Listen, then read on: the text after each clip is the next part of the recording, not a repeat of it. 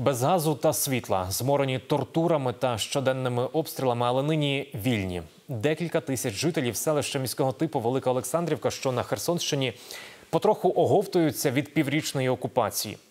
Попри регулярне мародерство росіян, свідоме знищення інфраструктури, люди не підкорилися ворогу. Навпаки, ще більше згуртувалися та ризикували життям, аби допомогти один одному.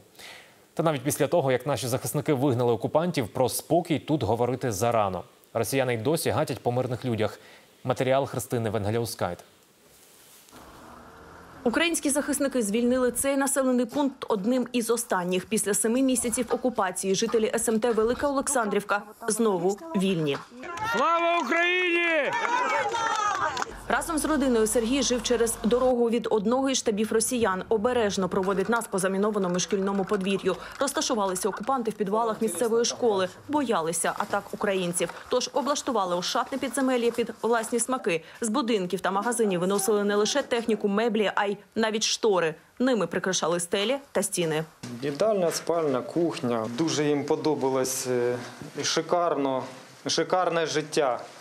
Тому і понатягували. Тут е, взагалі комп'ютери були, телевізори плазмові, холодильники стояли, е, пральні машини. Деякий час Сергій також провів підземелі, але не в цьому. Він поліцейський під час окупації. Росіяни відкрили полювання на правоохоронців. Ризикуючи життям, чоловік допомагав виїжджати іншим співробітникам Нацполіції, а в своєму гаражі зберігав їх форму та зброю. Сам врятуватися не встиг. До його будинку таки прийшли окупанти та забрали в катівню.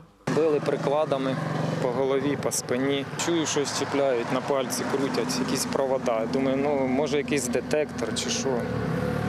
Спрашують, знаєш, що це таке? Ні, ну зараз узнаєш. Ток. І так протягом трьох днів нелюди погрожували розправою йому та його родині, зокрема маленькому сину та вагітній дружині. Вимагали показати, де зберігає зброю. Сергій відвів окупантів до однієї схованок, та і цього було мало. Окупанти вивезли його до іншої катівні у Каховку. Ще два дні тортур, а потім зухвала пропозиція перейти на їх бік. Дуже довго тримався. Почали до себе вербувати. Нам такі потрібні. Давай до нас. Я говорю, Ні. Врешті Сергія відпустили до дружини, яка ось ось мала народжувати. Звертатися до російських медиків жінці не дозволила гордість. Під потужними ворожими обстрілами в підвалі власного будинку на світ з'явилася здорова дівчинка. постійно були обстріли. і Не можна було. Ми чотири місяці взагалі не виходили. Я не виходила з дітьми з підвалу. Заставляли нас виїхати в Росію. Взагалі казали, що це дитина вже Російської Федерації.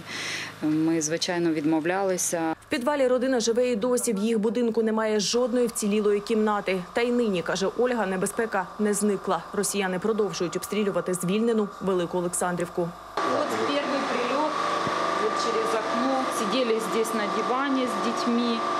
Буквально вышли, и минут через 10 прилетело. Розбиті адмінбудівлі, спалені автівки, потрощені будинки, заміновані вулиці без газу та світла. Так нині живе селище. Разом із чоловіком Оксана пробула під окупацією три місяці. Дивом вдалося виїхати. Нині ж повернулися на кілька днів, аби бодай трохи розібрати завали колишнього будинку. Вгору цегли оселя перетворилася після детонації вантажівки з ворожими БК. В кожному дворі через хату стояла машина з боєприпасами. Е, Вони тільки загрузили їх.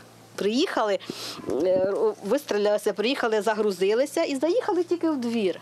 І почали і почало це. Згоріла оця хата, згоріла нижня, наша хата посередині. Як ми вціліли, я взагалі не знаю. Коли росіяни бігли із селища на стінах та дошках в класах розбомбленої школи, встигли залишити послання. У вас крутая школа, простите нас, это все сверху. Та навіть скоро ми ще вернемося. Та це навряд чи кажуть українські військові збройні сили міцно тримають звільнені від окупантів території. Хочеться, щоб вся Україна була вільна, незалежна, і щоб ніхто не наказував нам, що робити, а жили своїм розумом. Якби любили батьківщину, думали про її розвиток. Сім місяців росіяни свідомо знищували селище, якось міст через річку Інгулець. Окупанти підривали двічі. В себе наші захисники втратили перевагу під час наступу. Та й цей план військових так званої другої армії світу з тріском провалився.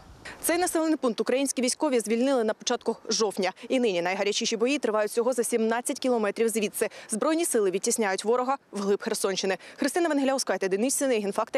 Єдині новини.